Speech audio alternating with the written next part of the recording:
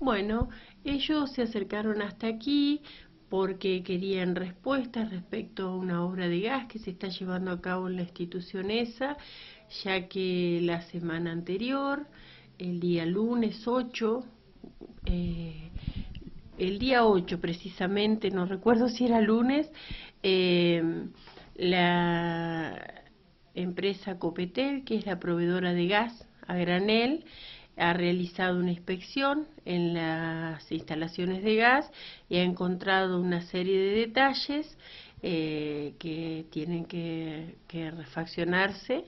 Entonces ha, dado la orden de llevarlos adelante eh, con cambios eh, de algunos artefactos, revisión en la instalación y algunos detalles en cuanto a la ventilación del espacio de la cocina.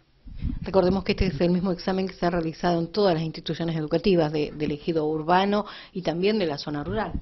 Eh, sí, en realidad no se ha realizado en todas todavía, eh, se va realizando por tramos y bueno, esta es una escuela que tiene hace poco una instalación nueva, eh, una prueba eh, de hermeticidad realizada hace muy poco tiempo, eh, pero igual se encontraron detalles que hay que tenerlos en cuenta y que es necesario sí o sí suspender las actividades escolares para el resguardo de estudiantes y trabajadores e intervenir inmediatamente en las instalaciones.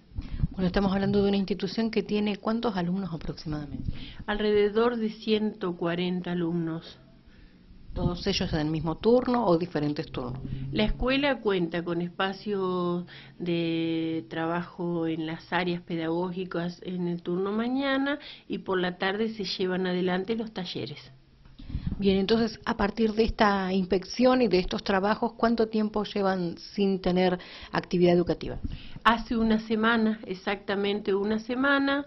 Eh, nosotros inmediatamente de recibido el planteo de la empresa Copetel, derivamos el pedido al municipio local. Ustedes saben que el mantenimiento de escuelas está conveniado eh, con el municipio. Eh, desde allí se pone una persona, un gasista matriculado que tiene que ser de primera línea porque es distinto al trabajo de otras empresas. Em, y la persona está trabajando, eh, hubo algún inconveniente con el plano de la escuela que no estaba en Copetel, eh, se está trabajando con eso y eh, durante esta semana se terminarían las tareas de revisión, hay que hacer la revisión completa de toda la instalación, de todos los artefactos y de toda la ventilación del edificio pasa con los docentes y con este plan de contingencia que se ha aplicado en otras instituciones?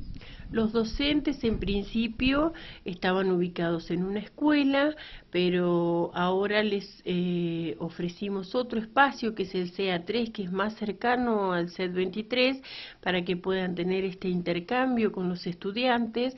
Ustedes saben que la reglamentación en educación prevé que cuando ocurre una situación extraordinaria como esta, de tener que suspender por tantos días las actividades, eh, se debe realizar por parte del el equipo directivo y docente de la escuela un plan de contingencia para la recuperación de esos contenidos. Esto quiere decir que se preparan trabajos prácticos y se da un intercambio con los estudiantes y con las familias para eh, no perder el contacto con los alumnos y esto siempre tiene que estar avalado por la supervisora. Bien, ¿esto se ha realizado? ¿Hay algún avance en esta cuestión? Eh, creo que hasta la fecha no se ha realizado el plan de contingencia, lo desconozco.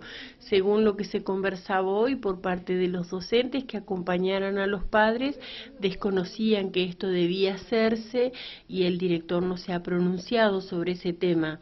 Ellos entendían que un plan de contingencia era trasladarse a otro edificio y la realidad es que no, que no se cuenta con un edificio que pueda albergar 150 estudiantes más los profesores porque no tenemos en el, en el bolsón un lugar que, que pueda cobijarlos, pero bueno, cuando me refería a plan de contingencia hablaba de esto, de poder realizar trabajos extras para poder recuperar esos contenidos que no se han dado en esta semana de clases.